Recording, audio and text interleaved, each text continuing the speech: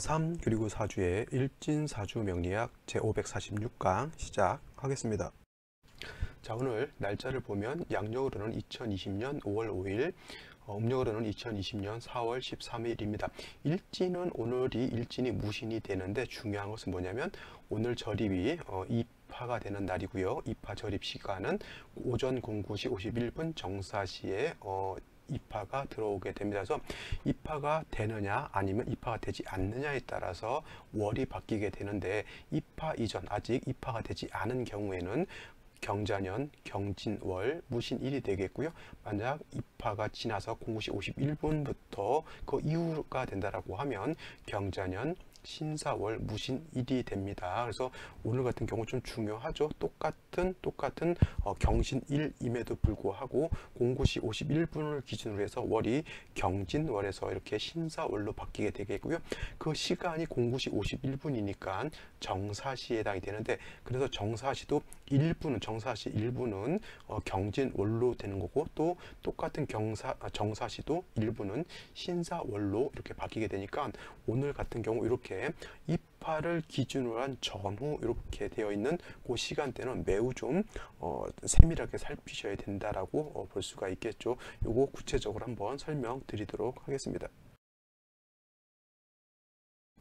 자, 이거는 24절기를 이제 설명해 놓은 것인데 제가 월이 바뀌는 기준마다 요 24절기에 대해서는 매번 설명을 똑같이 어, 하게 됩니다. 왜냐하면 이 24절기라고 하는 것이 자 사주를 볼때 어, 대체적으로 이렇게 어, 절입이 되는 사주를 보는 경우가 그렇게 많지는 않기 때문에 가끔가다 제가 이제 질문을 받는 경우가 뭐냐면 어, 월이 바뀌는 기준이 뭐가 되느냐. 예를 들어서 2월에서 3월로 바뀔 때 3월 1일이 기준이 2월에서 3일로 바뀌는 기준이 되느냐. 또 그것이 양력 기준이냐 아니면 음력 기준이냐. 이런 것 이런 질문을 제가 좀 많이 받아요 의외로 그래서 이거는 한 번 하고 설명 끝날 것이 아니라 또 두고두고 이 월이 바뀔 때마다 제가 설명을 드리는 거니까 어, 좀 한번 들으셨던 분이라도 한 번씩 계속 듣다 보면은 좀 익숙해질 것이고요. 월이 바뀌는 기준은 월이 바뀌는 기준은 뭐 매월 1월 1일, 2월 1일 이렇게 1일이 아니고요. 음력 기준도 아니고 양력 기준도 아니고 월이 바뀌는 기준 24절기를 기준으로 해서 바뀐다라고 하는 거,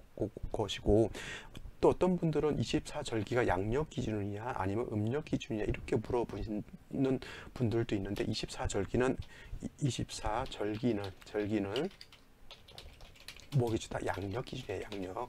그래서 이걸 갖다 혼동하시는 분들이 있어요. 음력 기준으로 하시는 분들도 있는데 24절기는 무엇 때문에 24절기 나오냐면 농사라고 하는 옛날 지금 현재 공업 시대 그다음에 서비스 제3차, 4차 이제 산업 사회로 가겠지만은 옛날에 1차 산업 즉 농사를 짓는 그런 시대에서는 언제 씨를 뿌리고 언제 어, 거두어 들이냐 이런 것들이 굉장히 중요한 어, 것이 되었고 그러기 위해서는 뭐예요? 달을 기준으로 해서 보는 것이 아니라 태양과 지구의 관계에 따라서 어, 태양이 어, 지구하고 이렇게 좀 가까워지면 뜨거워지죠. 여름에 해당이 되는 거고 좀 멀어지게 되면 겨울에 해당이 되고 그런 것들을 좀 구분해서 어, 옛날 어르신들이 어, 이렇게 농사 질 때 활용한 것이 바로 24절기가 되는 것이고 그 절기에 따라서 월을 이렇게 구분해 놓은 것이 바로 어, 24절기가 되는 거예요. 그래서 어, 월이 명리학에서만큼은 다른 때는 신경 쓰지 마시고요. 명리학에서 사주 명리학에서만큼은 월이 바뀌는 뭐, 뭘로 바뀐다? 24절기로 바뀐다. 24절기도 그냥 다 24절기 그 12, 24가지를 다 쓰는 것이 아니라 그 월마다 두 가지씩 이렇게 들어가 배속이 되어 있잖아요. 예를 들면은 어 2월 인월 같은 경우에는 입춘 우수가 되어 있고 묘월은 경집춘분이 되어 있고 그 다음에 진월은 청명 고구 4월은 입하소만 자 5월은 망종 하지가 되어 있고요. 그 다음에 미월은 소서 대서 어, 신월은 입주쳐서 6월은 백로 추분 수월은 한로 상강 그 다음에 해월은 입동 소설 자월은 대설 동지 그 다음에 마지막 축월은 소환 대함 이렇게 구분되어져 있죠. 그래서 요 인월이 되는 기준 그 다음에 어, 묘, 묘월이 되는 기준 진, 사, 오미, 신유술의 해자 축월 이렇게 월이 바뀌는 기준은 요 뒤에 있는 그 절기가 아니라 요 앞에 있는 절기가 그 기준이 된다라고 하는 겁니다. 그래서 이 인월이 되기 위해서는 대체적으로 이제 이 인월은 2월 양력으로 한 2월 정도 되는 거고요. 그다음에 이 인월이 되기 위해서는 입춘이 되어야지만 인월이 되는 것이고 어, 양력 대략 3월인 묘월 같은 경우는 경칩 4월은 진월은 청명, 그다음에 5월은 4월 지금 지금 이제 4월에서 5월로 넘어가게 되고 5월 이 5월이 될 때 5월 1일은 기준이 아니고요. 입하가 기준이 되기 때문에 대략적으로 양력 5월인 4월은 입하가 되어야지만 입하가 되어야지만 어, 진월에서 사월로 넘어간다. 그 다음에 어, 5월은 망종, 미월은 소서, 신월은 입추가 되어야 되는 것이고요. 6월은 백로, 술월은 한로, 해월은 입 동, 그 다음에 자월은 대설, 아, 축월은 소환이 되어야 좀 바뀌고 다시 한 해가 바뀌죠. 축월에서 그 다음 해 연도 이, 다시 인월이 될 때는 입춘이 되면서 이때는 월만 바뀌는 것이 아니라 연도, 연도 바뀌게 되죠. 그래서 기해년에서 경자년으로 바뀔 때 입춘이 되어야지만 기해년에서 경자년으로 바뀌게 되고 기해년 축월에서 경자년 인월로 바뀌는 것이 어, 바로 이때가 되죠. 그래서 입춘이라고 하는 것은 어, 월만 바뀌는 기준이 아니라 어, 연과 월이 같이 바뀌는 그런 기준이 되기 때문에 굉장히 중요하다라고 볼 수가 있겠고 그다음에 이제 가끔가다 이제 동지 세수설이냐 입춘세수설이냐 를 가지고 이제 어, 얘기하는 경우가 있는데 이 세수설이라고 하는 뜻은 뭐냐면 워, 연이 바뀌는 기준이 무엇이냐 이렇게 이걸 놓고 보는 거예요. 대체적으로 명리학에서는 이 입춘이 지나야지만 월이 연이 바뀐다라고 봐요. 대체적으로 양력 1월 1일이 되어야지만 예를 들어서 2019년에서 2020년으로 바뀌는 거고 음력 기준으로 하게 되면 음력 1월 1일이지만은 명리학에서는 입춘이 되어야지만 연이 바뀐다라고 하는 겁니다. 근데 이거를 갖다가 변론으로 하고 동지를 기준으로 해야 된다라고 하는 그런 이론들도 있습니다만 대체적으로 어, 동지 세수설을 취하는 어, 사람보다는 어, 명리학자들 대부분이 입춘 세수설을 어, 따르고 있기 때문에 아 동지세수설 동지를 기준으로 해서 연이 바뀐다라고 이렇게 어, 알고 이렇게 어, 이런 이론도 있다 정도는 아시는 것이 중요한 거고 너무 깊숙이 파고 들어갈 필요는 없고요. 아 연이 바뀌는 기준은 일반론적으로 입춘을 기준으로 한다라고 생각하시고 제가 여러분들께 가르치는 이론도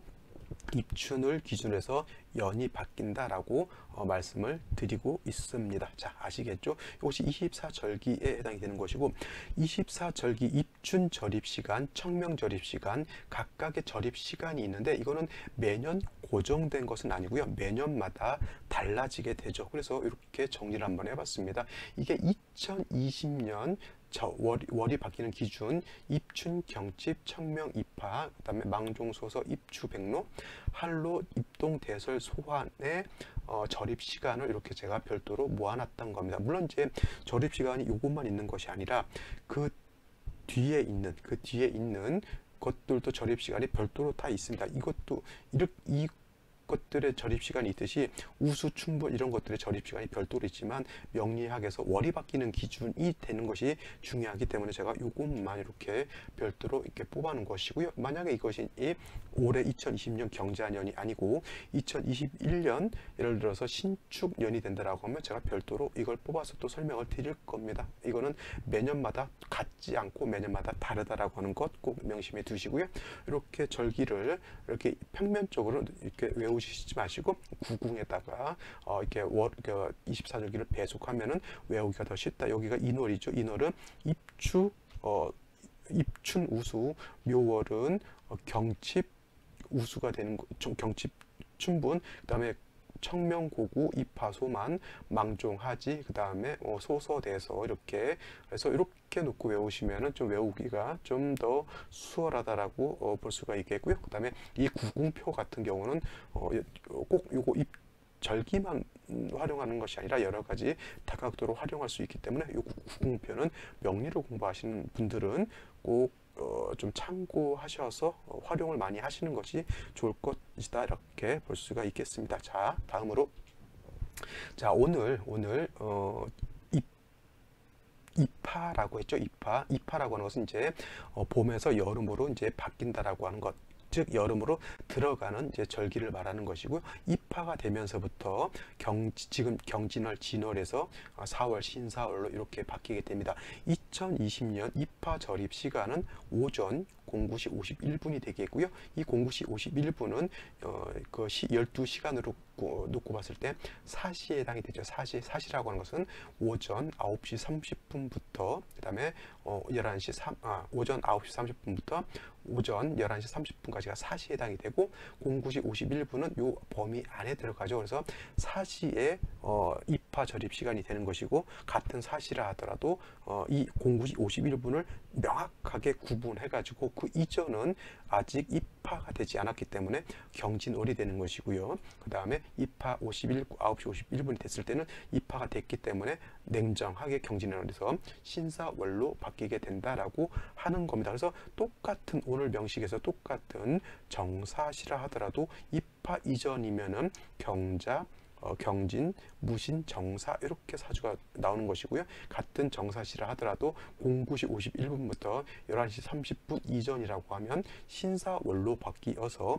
경자년, 신사월, 그 다음에 무신일 정사시가 된다라고 하는 것 이렇게 어, 나누어 볼 수가 있겠습니다. 그래서 이런 것들 별거 아닌 것 같은데 그냥 아무렇지 않게 입하라고 하는 것을 망각하고 그냥 공구시 51분이 지났는데 경진올로 본다든가 아니면 입 그 뭐야 입하가 되지 않았는데 성급하게 신사월로 본다라고 하면 그 사람의 사주를 제대로 보는 것이 아니라 틀린 사주를 보는 것이기 때문에 매우 매우 어, 특히 상담하는 입장에서는 신중히 어, 살펴야 할 대목이다라고 어, 보면 되겠습니다. 이런 것들이 따지고 보면 어려운 건 아니거든요. 굉장히 쉬운 것이고 어, 이것도 놓쳐서도 안, 안 되는 것인데 사람들이 어려운 것에서 실수하기보다는 가장 기초적이고 가장 쉬운 것에서 많이 실수를 하게 됩니다. 실수 뭐 뭐야 고차 방정식 풀때 구구 구구단 하나 착각하게 되면 구구 81인데 이걸 갖다가 잘못해서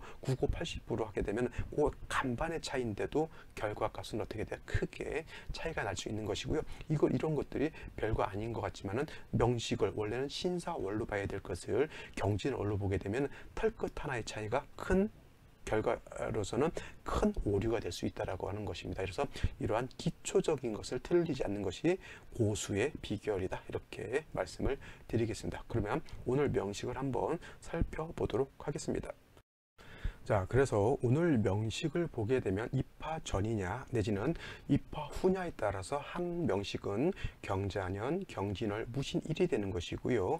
입하 후가 된다라고 하면 경자년, 신사월, 무신일이 되는 겁니다. 제가 누차에 걸쳐서 강조드리는 것은 사주를 볼 때는 항상 일간과 원령을 이렇게 살펴본다라고 했는데 오늘 같은 경우는 원령이 달라지는 큰 차이가 있기 때문에 요, 이러한 것들을 놓치게 되면은 큰 오류를 범한다라고 말씀드렸고요. 먼저 입하 전으로 놓고 보게 되면 무토가 진월에 태어난 사주 명식이 되겠죠. 그래서 이러한 사주 명식 격, 격국으로 놓고 봤을 때 무토가 진월에 태어나게 되면 원래는 이걸 갖다 갖다가 비경격이다라고 놓고 보시는 분들이 있는데 저는 이거를 비경격이라고 보지 않고요. 준, 뭐야, 걸 록, 격이다라고 봅니다. 걸록격. 걸록격은 아니죠. 근데 걸록격에 준해서 본다라고 하는 개념으로 준 걸록격으로 놓고 보게 되고요.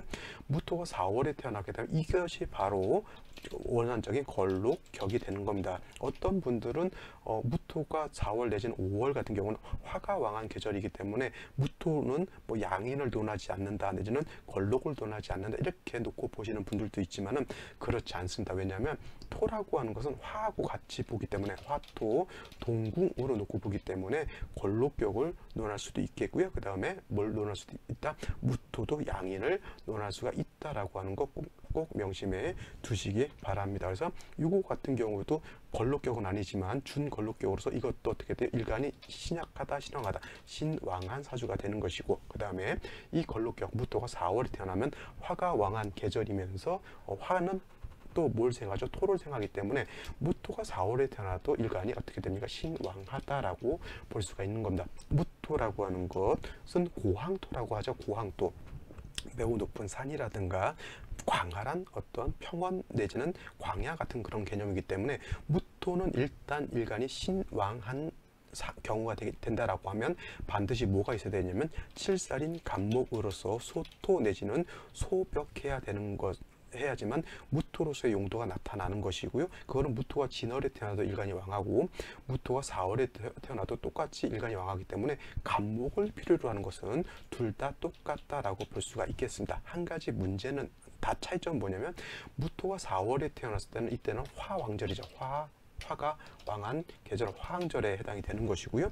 무토가 어, 진월에 태어났을 때는 이때는 화가 왕한 계절이 아니라 토왕절에 해당이 된다라고 놓고 볼 수가 있겠습니다. 이 무토가 4월에 태어났을 때는 일간도 왕하고 인성도 왕한 경우이지만 무토가 진월에 태어났을 때는 일간은 왕하지만 화가 왕한 개념은 아니다라고 볼 수가 있습니다. 그래서 무토가 진월에 태어났을 때는 간목으로 소토하고 물론 이제 수로서 어 간목을 보좌해 주는 것도 필요하지만 무토가 진월에 태어났을 때는 반드시 병화라고 하는 것은 반드시 좀 있어 줘야 되는 그런 사주 국세가 되는 것이 고요.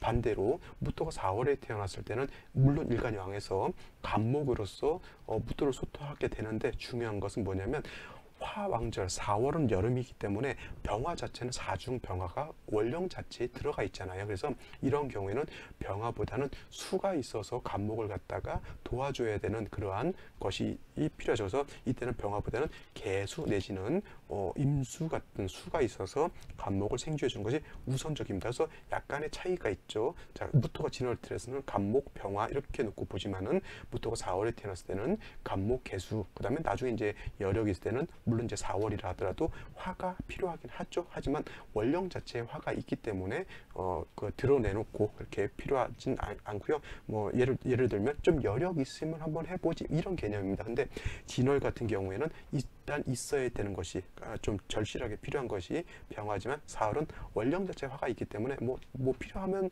좀 갖다 쓰든가 이런 개념이기 때문에 어, 진월에 비해서 병화의 어떤 수요는 어, 그렇게 필요치 않다 이렇게 볼 수가 있겠습니다. 근데 사주를 이제 내막으로 보게 되면 먼저 이 명식을 보게 되면 무토가 진월에 태어나서요 연지의 자수를 보게 되고 일지에서 신금을 보게 되니까 이거는 뭐 사주 국세가 신자 진 수국을 완전하게 갖춘 그러한 사주 국세가 되죠. 그래서 무토가 진월에 태어나서 일간이 왕할 것 같은데 신금 자수를 봐서 수가 형성되게 되면 제가 누차에 걸쳐서 말씀드렸지만 진월이라고 하는 것은 수국이 형성되느냐 목국이 형성되느냐 내지는 토국이 형성되느냐 금국을 형성되느냐를 놓고 봐야 되는데 이거 같은 경우 지지에서 수국을 형성했고요. 그 다음에 경금이라고 하는 것이 투출되어 있어서 이 경금이라고 하는 것은 일간의 기운을 설하는 그런 그런 역할도 하지만 금은 다시 수를 생해주는 역할을 하기 때문에 이 사주는 뭐예요? 금수가 세력을 가지고 있는 그런 명식이 되겠고 금수가 세력이 있으면 어떻다? 사주가 한습해지는 그러한 사주가 된다. 라고 이렇게 정리를 할 수가 있겠죠. 결국은 무토가 진월에 태어나서 일간이 원래 신왕한 그런 국세가 돼야 되는데 이거는 사주 짜임새가 오히려 금수가 왕해짐으로 인해서 일간이 신앙했던 사주가 오히려 신약해진 그런 사주가 된다라고 볼 수가 있겠습니다. 그렇죠? 그러면 생시에서는 뭘 봐야 된다?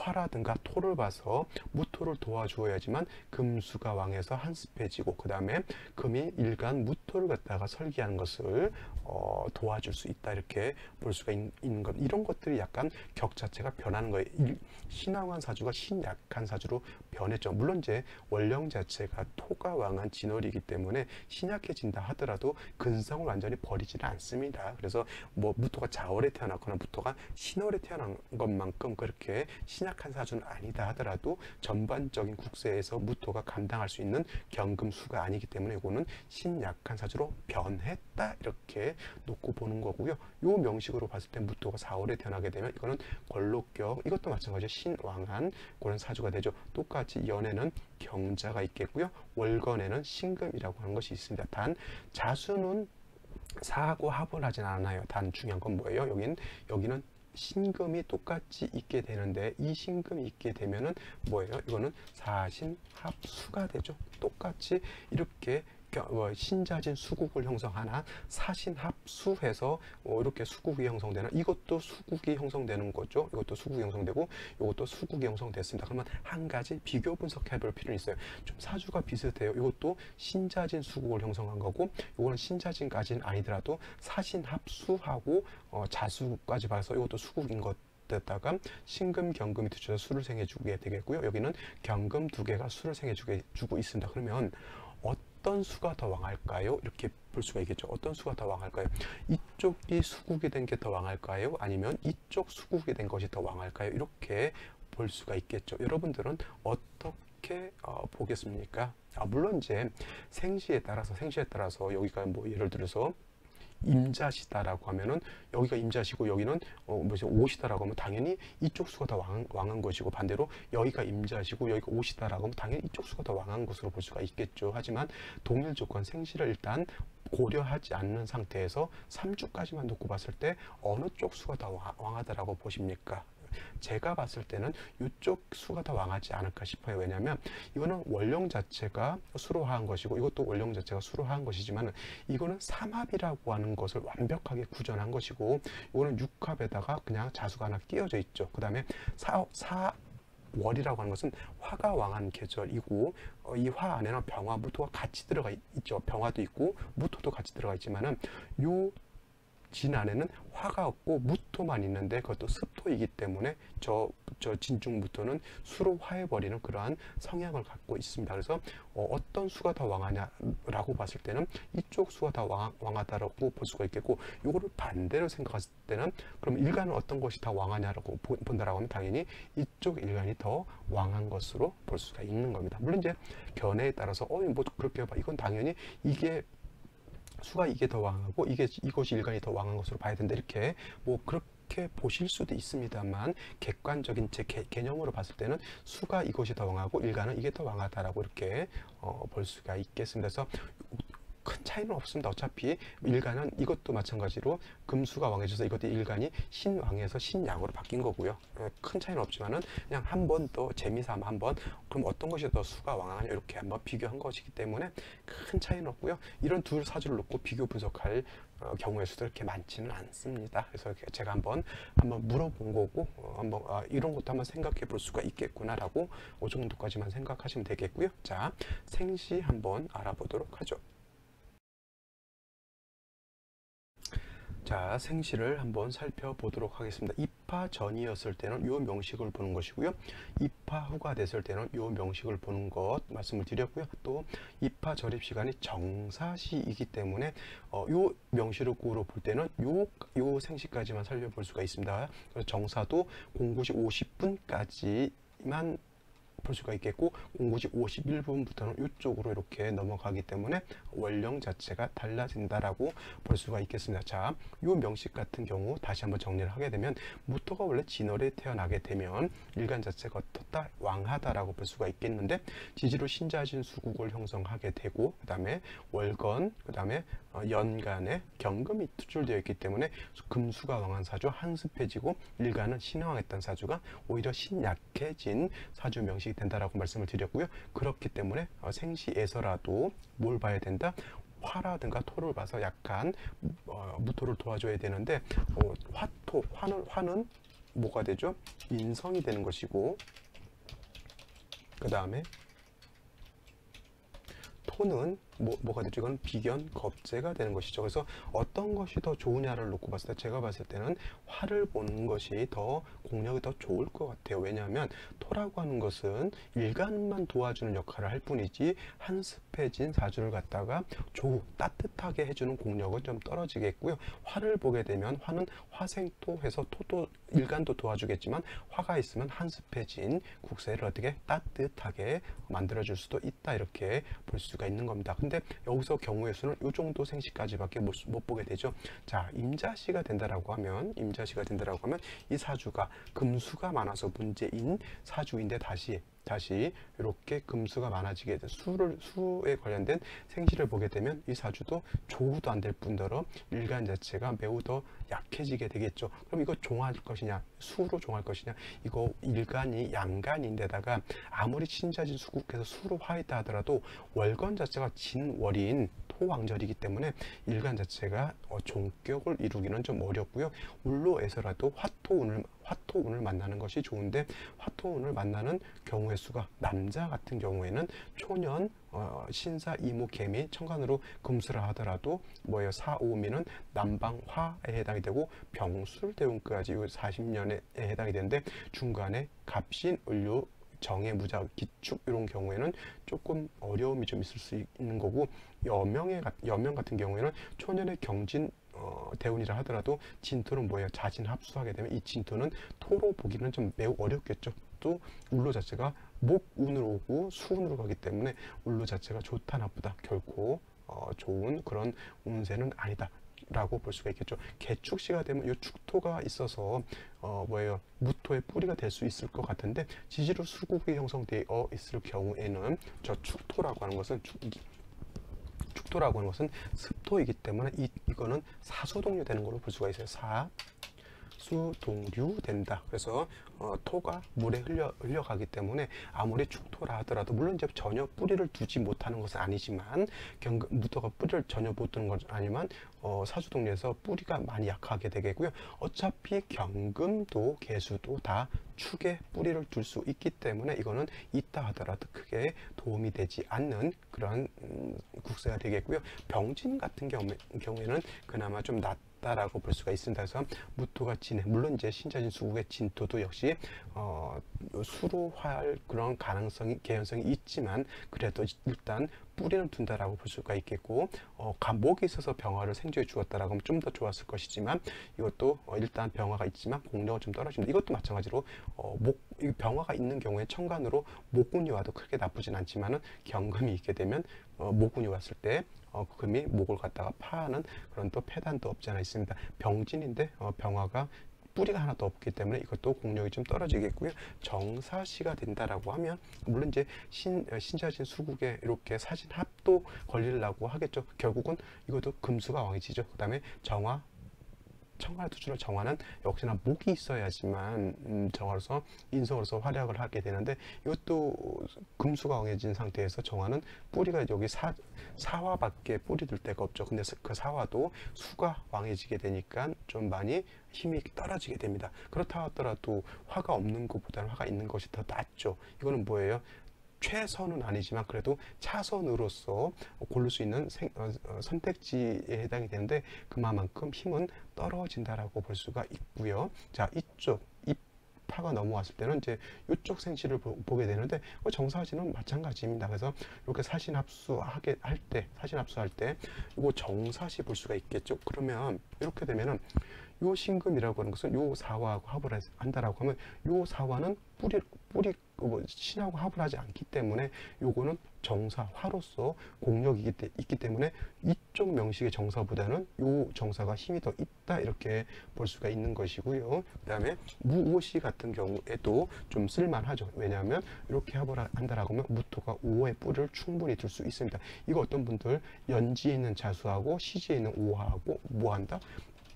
좌우충 한다 이렇게 보시는 분들도 있는데 그 좌우충이 된다 안 된다 좌우충 되지 않습니다. 그 다음에 무토가 있기 때문에 이 무토 시간에 있는 무토도 시지에 있는 오화의 뿌리를 두고 있고요. 이 일간도 뿌리를 두고 있기 때문에 금수가 좀 왕하다 하더라도 양간 무토가 이렇게 되게 되면 어, 힘을 좀 얻을 수 있습니다. 이렇게 되면은 뭐 금수운으로 간다 하더라도 크게 나쁘진 않지만은 어떤 대운을 좀 조심하셔야 되냐 이런 경우는 자대운 같은 거 이렇게 자대운 들어왔을 때 요 요거를 충하는 이런 운을 만났을 때는 조금 어려움을 겪을 수 있다 이렇게 보실 수가 있는 겁니다. 자, 뭐 김희 씨도 토이지만 화가 없는 것은 좀 문제이고 이, 그 이후로 뭐 경신, 신유시, 개시 같은 경우는 뭐예요? 다시 금수가 왕해지는 생시이기 때문에 이런 경우에는 좀 피하는 것이 좀 좋다 이렇게 말씀을 드릴 수가 있습니다. 오늘 같은 경우에는 명식을 뭐 심도 있게 파악하는 것도 물론 이제 필요하지만은 중요한 것 입파 절입으로 인해서